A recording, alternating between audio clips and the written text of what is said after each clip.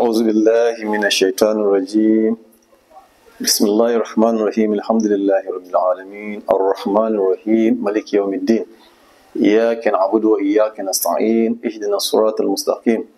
صراط الذين أنعمت عليهم غير المغضوب عليهم ولا الضالين. آمين. اللهم صل على سيدنا محمد الفاتح ما أغلق والخاتم لما سبق. ناصر الحق بالحق. والهادي إلى صراطك المستقيم وعلى آله حق قدره ومقداره العظيم. الحمد لله الحمد لله الحمد لله رب العالمين.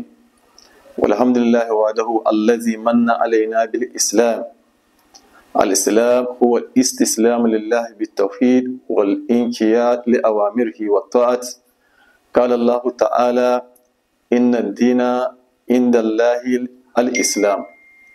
ومن يبتغي غير الإسلام دينا فلن يقبل منه وهو في الآخرة من الخاسرين اللهم علمنا ما ينفعنا وانفعنا بما علمتنا وزدنا علما سبحانك لا علم لنا إلا ما علمتنا إنك أنت العليم الحكيم muna gode da Allah tabaraka wa ta'ala da ya kaddara dawowanmu cikin wannan gida mai tarin albarka kan abin da muke tafiyar da shi tsakanin almajiri da 'yan uwayensa almajirai. Muna fata don abin da damu faɗi na katari Allah sa ya dace akan sunnan ma'aiki sallallahu alaihi wasallam. Don wani abu da damu yi na kuskure muna fata kuma da gafarce mu Allah ya gafarta mu baki ɗaya. Cikin yadda Allah yau maganin da muke da shi shine kan batun al-islam musulunci. Menene musulunci? Annabi sallallahu alaihi wasallam ya ce mana al-muslim man salima al-muslimu na min lisanihi wa yadihi. Kana neman musulmi na ƙwarai musulmai muna da yawa Allah kaɗai san iyakanmu. Amma wane ne musulmi na ƙwarai? Akwai wasu su ɓata gari ne. Sun sa rigar musulunci suna komi tare da musulmai amma suna jama musulunci zargi. To annabi sallallahu alaihi wasallam ya ce in kana neman ka san musulmi na ƙwarai shine wanda musulmai suka kubuta gabarin halshin su gabarin halshinsa da hannunsa ma'ana bai zagin dan uwansa musulmi kuma bai duka dan uwansa musulmi. Wannan shine musulmi na ƙwarai. Allah tabaraka wa ta'ala yana son mu iya ganewa addinai da ke gidan duniya yana da yawa. Amma wanda Allah tabaraka wa ta'ala ya da shi shine dinul islam. Addini kenan na aminci. Allah ka amintar da mu. Menene musulunci? Shine mutum ka miƙa wuya zuwa ga Allah ka jayi zuwa gare shi. Bit tauhidi da kadaita Allah ka yadda la ilaha illallah ka yadda da wannan kadaici na Allah bai da wani abokin tarayya. Ka jayu zuwa ga dukkan wani abu da Allah tabaraka wa ta'ala ya yi umarni a bi. Kuma ka yi ƙoƙari ka hannu ga dukkan wani abu da Allah tabaraka wa ta'ala ya hani gaba da shi. Ka zama mu biyayya ga Allah. Allah na son Allah na gaya mana a cikin alkurani na cewa kana neman addini a wurin Allah shine addinin musulunci.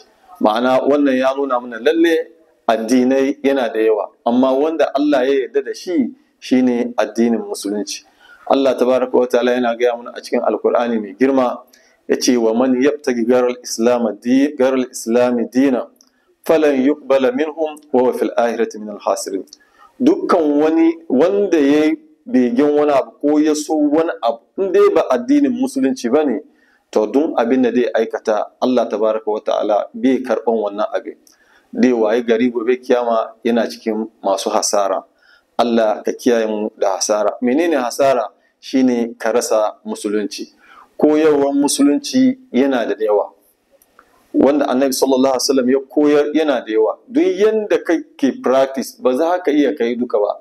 Amma wanda kaga za ka iya ka riƙe shi da kyau. Ko da ma ka zauna kai ba mai karatu ba ne ko kai ba mai wazi ba ne ko a'a kai ƙoƙari musulmi ya kubuta gaban halshinka da hannunka. Kaga ka zama musulmi na ƙwarai. Musulunci yana wajibta muna adalci. Abu ɗaya kuma kenan da musulunci ya wajibta muna. Mu yi adalci tsakaninmu. Musulunci ya haramta muna zalunci. Musulunci ya wajibta muna soyayya tsakaninmu da tausaya ma juna. Musulunci ya wajibta muna at-ta'awunu taimakakeniya mu yi taimake junanmu wan nasiha da nasiha. Musulunci ya haɗa zukatan bayan Allah ne musulmi da wani musulmi. Yadda duk inda za ku samu kanku ku zauna lafiya ku tafiyar da addinin tunda ba rigima. Amma an ana rigima yadda ya kamata ya addini ba samu ai kamar yadda muke gani a wasu ƙasashe cikin wannan zamanin na Allah kawo musu sauƙi mu kuma Allah kiyaye.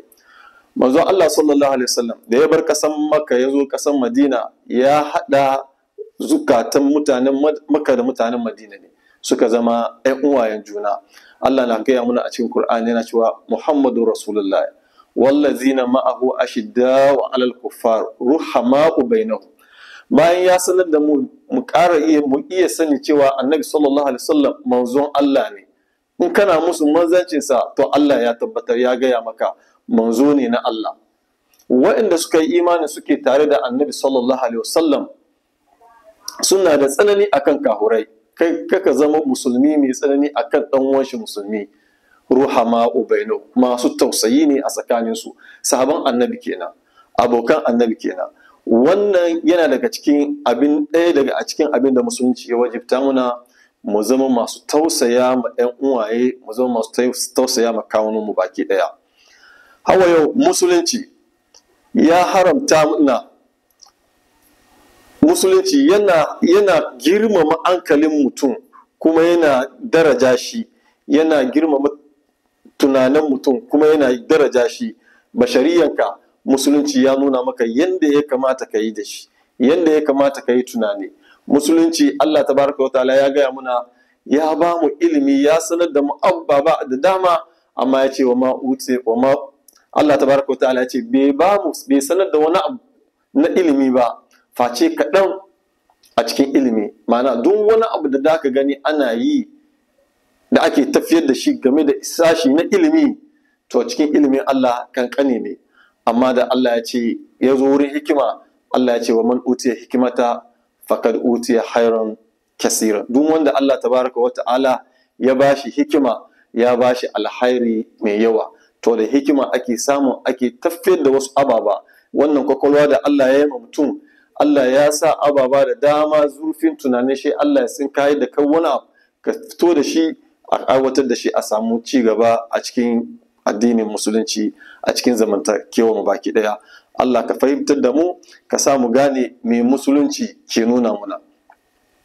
Musulunci kuma ya tabbatar muna da wani abu ɗaya da har yanzu akwai wasu bayan Allah kusan ba su fahimci menene musulunci ba. Addini musulunci na Allah ne. Allah ya ko annabi sallallahu alaihi wasallam da addini da addini. Yasa in kai musulmi ne kana kan wani akida da ya sha bamban da akidan wani. Kar ka yadda akidan ka matar da kai abin da musulunci ya gindaya maka. Ka albashin ka tafiyar da wasu ababa da dai sa ka fita daga hanyar musulunci kana wani abu daban da musulunci bai yarda da shi ba. Kansa ne Allah tabaraka wa ta'ala yake gaya mana a cikin alkur'ani akan addininsa. Yace la ikraha fi din ka tabayyana rushd min al-gayy babu tilastawa a cikin wannan addinin musulunci. Domin me? Shari'a ta bayyana shari'a ya bayyana daga bata shari'a ya bayyana daga barin ƙarya. Dukkan wani abu da da faɗi game da addini in dai ƙarya ne Kur'ani ya nuna mana ƙarya ne. In gaskiya ne Kur'ani ya nuna mana gaskiya. Yasa wannan aya yana nuna mu dukkan bawan Allah da ya yarda da Allah ya yarda da manzon Allah sallallahu alaihi wasallam. In da ka zo ka yi kiran dan uwanka musulmi kan wani abu da kake son ya gane ka je da hikima ga ayan Kur'ani ga hadisin manzon Allah sallallahu alaihi wasallam ga zantuttuka na bayan Allah da aka yi magana da dama na hikimomi da za ka iya ka yi amfani da shi ka ciyo hankalin mutum da bai gane abin da kake kai ba da hikima. Allah ya ce udu ila sabili rabbika bil hikimati wal mau'izatil hasana wajadilhum billati hiya ahsan. Yace da annabi sallallahu alaihi wasallam kai kira zuwa ga tafarkin Allah da hikima da gargaɗi nasiha mai kyau. In da yi jayayya kuma a yi jayayya akan hasla mai kyau. A abu kaza da nake kai ko abu kaza da na yi Allah ya ce kaza annabi sallallahu alaihi wasallam ya ce kaza. Abu kaza da nace ba kyau Allah ya ce kaza annabi sallallahu alaihi wasallam ya ce kaza. Kaga wannan shine matafiya mai kyau. Shine hanyar da musulunci ya koyar. Musulunci yana koyar da kowane bawan Allah da ya yarda da musulunci hanya mai kyau. Musulunci yana koyar da kai yadda za ka yi magana da yadda za ka yi kira zuwa ga addinin musulunci. Kar ka yadda abin da kake kai saɓanin na wani. Ka zo da ka yi kira. Ce wane kaza abin da yake yi bai da kyau kahuri ne. Alhalin ɗan wanka ne musulmi. Wannan magana muna yawan maimaita shi saboda ya cutar da wasu bayin Allah. Wasu sun faɗi irin waɗannan zattuka wasu shekarun baya. Yau wallahi da ka buga musu bidiyo ko kasetin da suka yi magana kai ba za su yadda ba. Saboda me? A yanzu suka gane kamar ashe jiyan nan ya shirme ne. Yau ya gane kamar bai kamata ya kahurta ɗan wanshi musulmi ba. In ka ga yana wani abu baka da aljanna da daka bashi baka da wuta da daka sashi Allah ke da aljanna shi shi ke da wuta. In ka kana da dama ka masa nasiha ka masa. In baka yi ka masa nasiha ka masa addu'a. Annabi sallallahu alaihi wasallam ce man ra'a minkum munkaran falyughayyirhu bi lisanihi fa in lam yastati falyughayyirhu bi lisanihi fa in lam yastati fa bi yadihi fa in lam yastati fa bi qalbihi wa zalika ad'af al-iman. Idan mutum ya ga wani abin ki a cikin musulunci da ke son yayi gyara bai iya gyara. Abin da ya kamata kai farko ne kaga kamar abin ka kai ka gyara. To ga mai gyara da halshi abu kaza bai da kyau ku bari. In ba ka iyawa inda hannu ne ka yi. In ba ka iyawa annabi sallallahu alaihi wasallam ce ka masa addu'a. Ma'ana ada afu min imani kenan. Zuciyarka yana kin wannan abin. Tunda zuciyarka na ki me ya kamata ka yi? Ba ka yi ka yi magana kuma ba ka yi ka sa hannu ka gyara shi ka yi addu'a. Wannan abu Allah shirya. Amma kaka yarda ka danka da dan wanka zuwa ga bata alhalin ba batacce ba ne la'alla a gaban Allah shi ya fi kama. Domin Allah ce inna akramakum inda Allahi atkakum mafi girman ku a gaban Allah shine wanda ya fi kowa tsoron Allah. La'alla kai nasiha Allah ya baka dama. Allah ya maka wani maziya ka zo kana faɗi kaza a bar kaza. Allah ya ce kaza annabi ya ce kaza. Amma wurin tsoron Allah wanda kake zargin nan Allah ya fi ka gaban Allah. Wurin mutane da aka kama a kai malam ne. Amma gaban Allah wannan shi taqiyun ne mai tsoron Allah ne. Allah ka muna baiwan tsoron Allah. Hawa yau addinin musulunci Allah tabaraka wa ta'ala yana gaya mana walau sha'a rabbuka la amana man fil ardi kulluhum jami'an. Afa anta tukrihu nas hatta yakunu mu'mini Allah ya tabaraka wa ta'ala yana gaya manzo Allah sallallahu alaihi wasallam. Yace da Allah tabaraka wa ta'ala ya ga dama a cikin mashi'ansa da jama'an da ke ban ƙasa dukkan tun farko har ƙarshe kowa zai yi imani. Amma ba haka Allah ke so ba. Shi Allah ya tambaya annabi sallallahu alaihi wasallam yanzu kai ka tilasta ma mutane har su zama muminai?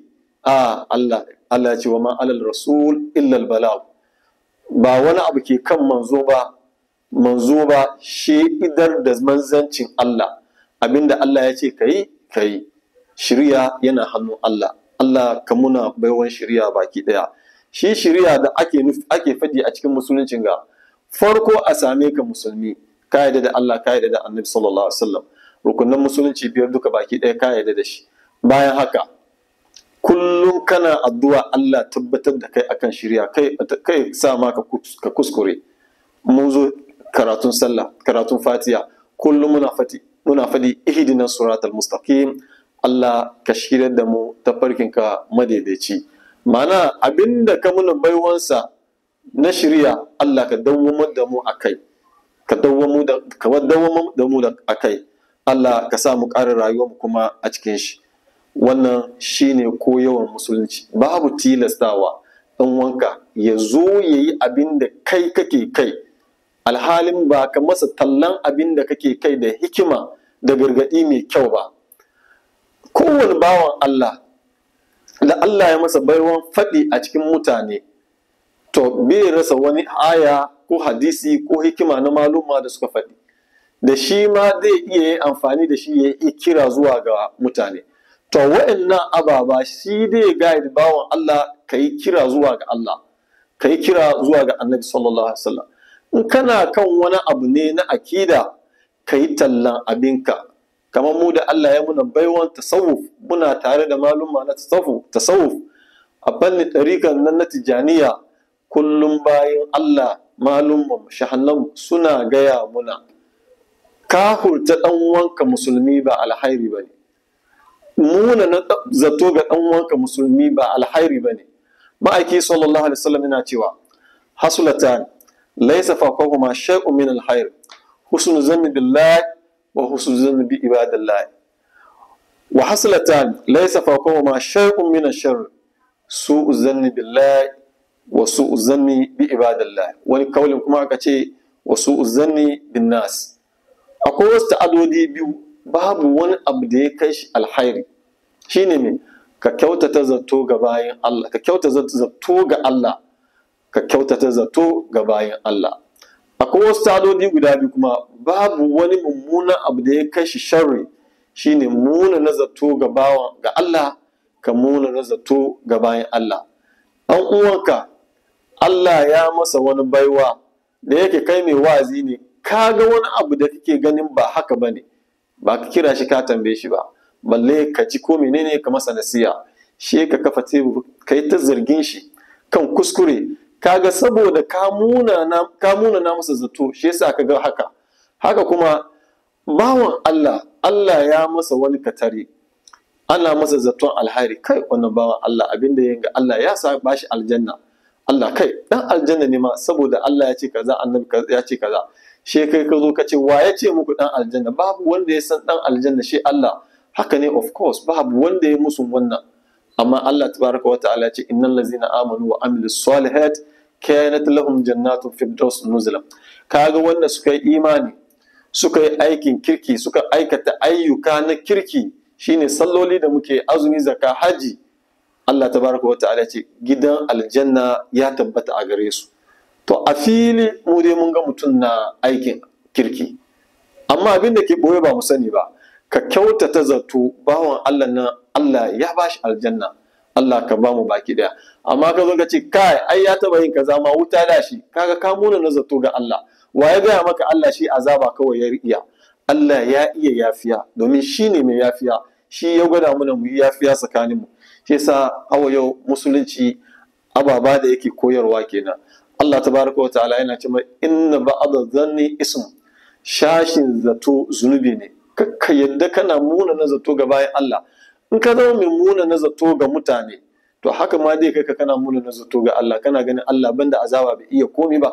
Kullum kana sa mutane cikin azaba. Kana kore musa mutane ga barin musulunci. Maimakon ka kira su ka bar su gane musuluncin nan mai yafiya ne musuluncin nan mai rahama ne. Ka kullum kana kira mutane yanda wani ya ji ma ka ba tsoro. Maimakon ka convince mutum yi ya ganewa a addinin musulunci ba addini da ya kamata a riƙa. Waɗanda ke cikin musulunci ma ka tsoratar da su balle wanda ke waje. Allah ka tashe mu baki ɗaya. Musulunci wani ibada ne da ke gwada muna haɗin kai tsakaninmu da 'yan uwayenmu. Musulunci wani ibada ne da Allah tabaraka wa ta'ala da dai nuna muna muhimmancin haɗin kai shi fara nuna muna shi a cikin sallah. Annabi sallallahu alaihi wasallam ya ce muna salatul jama'at tabdul bi salatul farzi bi sabi wa na daraja.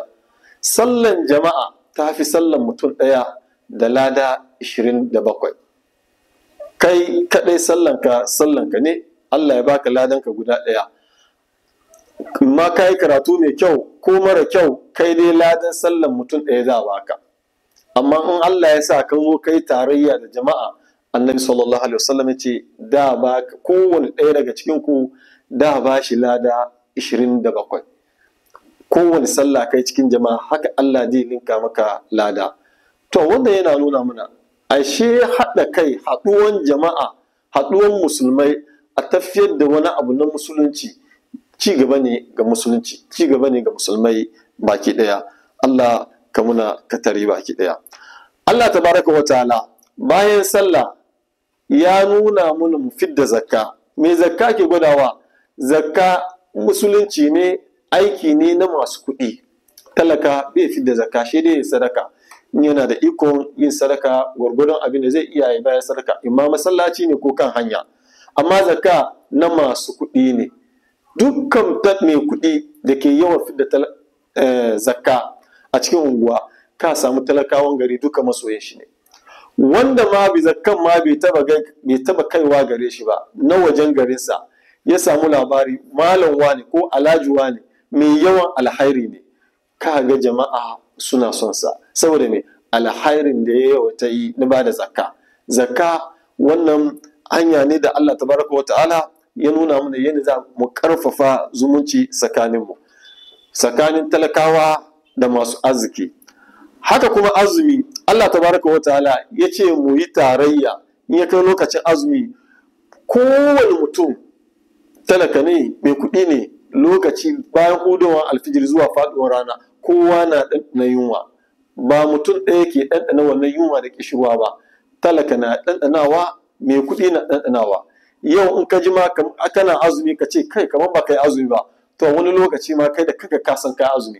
Wannan talaka da mai kuɗi Allah ya bar mu tarayya lokaci guda. Malami na ciki mai kuɗi na ciki jahili na ciki almajiri na ciki. Kowa Allah ya tattara mu ya samu kan hanya guda. Mu ɗanɗana wani abu a lokaci ɗaya. Wannan Allah tabaraka wataala yana nuna mana muhimmancin haɗa haɗuwa wuri ɗaya. Allah tabaraka wataala ya farinta mana hajji.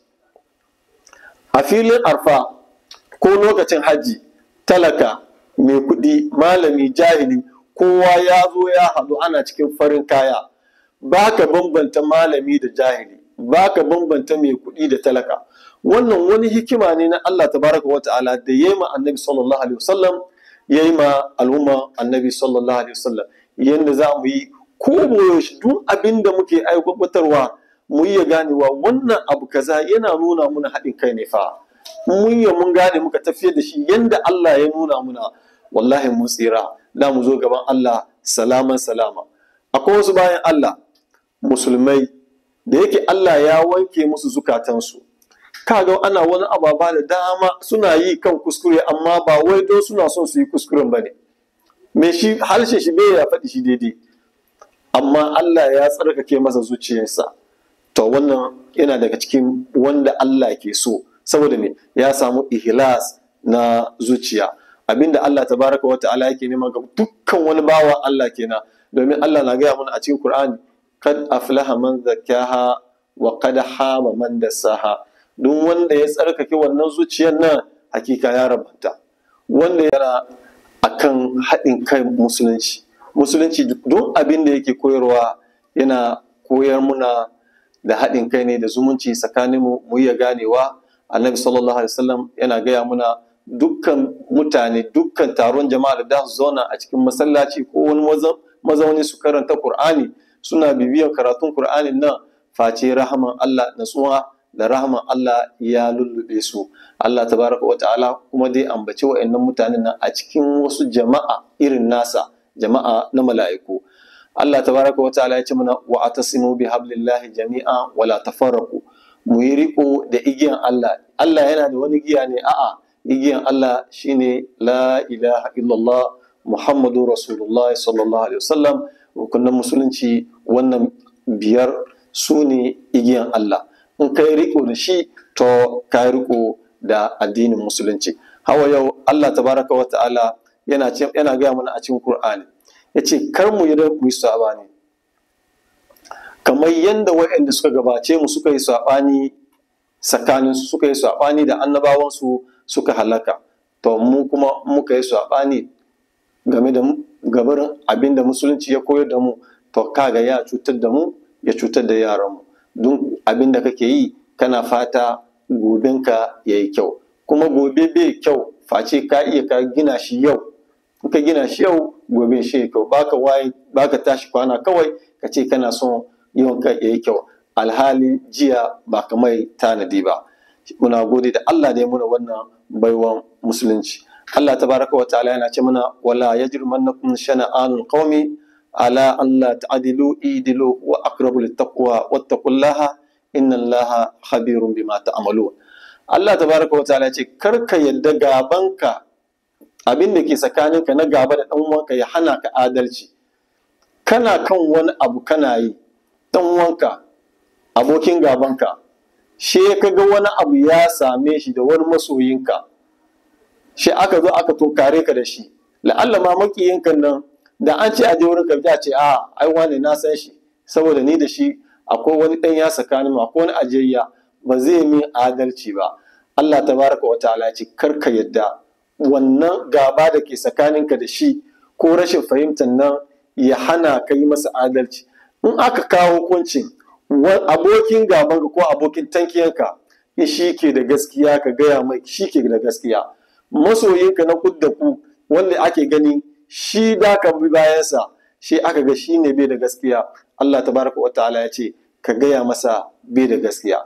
Wasu wasu irin ababa haka ya gudana tsakanin wasu mutane da bayan Allah suka aiwatar da wannan magana na Allah ya sa wannan gaban nan ya kau.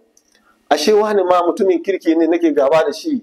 Duba abin da ya faru tsakanina da wani da muka zo wurin shi gashi ko lalle ya nuna ni ke da gaskiya. Daga yau ma wannan gaban na bari. Tun abin da musulunci ya koyar ya koyar ne a katari ba ya koyar ne akan kuskure. In kaga an samu kuskure to daga gare mu ne. Amma musulunci bai koyar da bata ba musulunci bai koyar da kuskure ba. Alakan da suke tsakanin musulmi da arne kar ka yadda ka ce kai addinin ka daban ne da nashi shi yasa da ka yi kyaman shi. A Allah tabaraka wa ta'ala yana kira ya ayyuhan nasu inna halaknakum min dhakarin wa unsa waja'alnakum shu'uban wa qaba'ila lita'arafu inna akramakum indallahi atkakum inna allaha alimul habir. Allah tabaraka wa ta'ala yana kiran taron mutane ya ce ni na halice ku daga namiji da mace muka mashe ku manyan kabilu da ƙananan kabilu. Ba domin komai ba domin mu yi sanayya tsakaninmu. Yau akwai musulmai da dama arna ke kai su haji akwai musulmai da dama arna ke biya musu bukatu. Da akwai gaba na addini tsakaninmu wa'annan ba za su iya sauke farin kansu ba. Da akwai wani abu na rashin fahimta tsakaninmu da arnan nan da wa'annan musulmai da aka yi aka kai su haji ba za a iya a musu ba. Saboda ne mu yi sanayya tsakaninmu abin da ya kamata mu yi ma kanmu mu yi ma addinin mu yi abin da ya kamata mu yi ma ƙasanmu mu yi wannan shine lita'arafu domin mu yi sanayya. Mafi girma a wurinmu a ciki mafi girma cikin mu a wurin Allah shine wanda ya fi kowa tsoron Allah.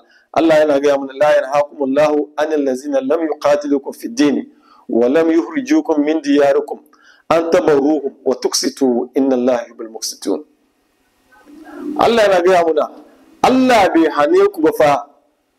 Ku zo ku yi soyayya tsakaninku da waɗanda addinin ku ba ɗaya ba ne alhalin ba su yaƙe ku ba. Alhalin ba su yi gaba da ku ba. Ba su fidda ku daga gidajen ku ba. Kun zauna kun yi addinin ku yanda ya kamata.